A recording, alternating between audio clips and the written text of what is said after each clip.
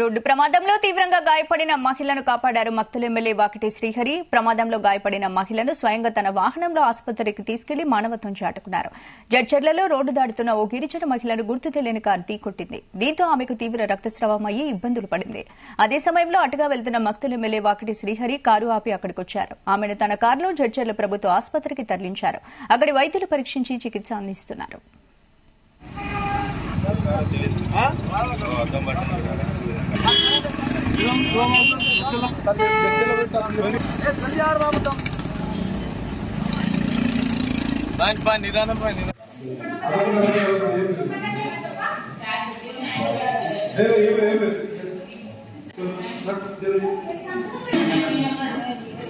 నిన్న ఇక్కడ చిన్న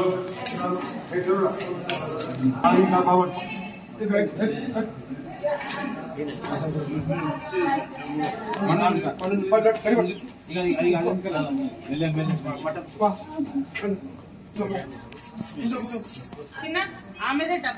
బుచ్చి గిట్ట కార్ వేసుకోరా ఆటోలో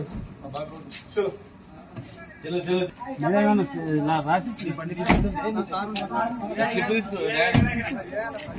తీసుకున్నా వాళ్ళు రాసిస్తాను వాళ్ళ